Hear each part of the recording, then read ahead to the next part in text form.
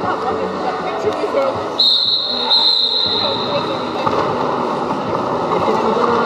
you.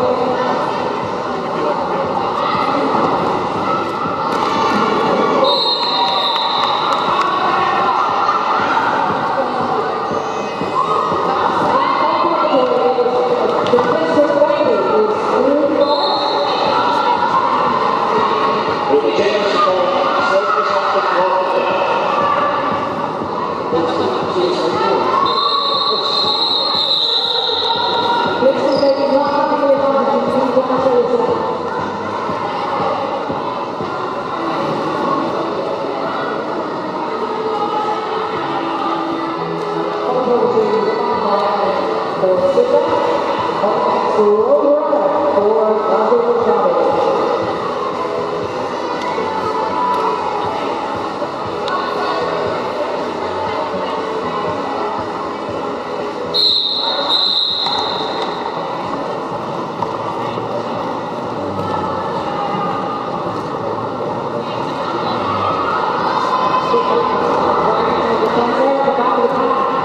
Coach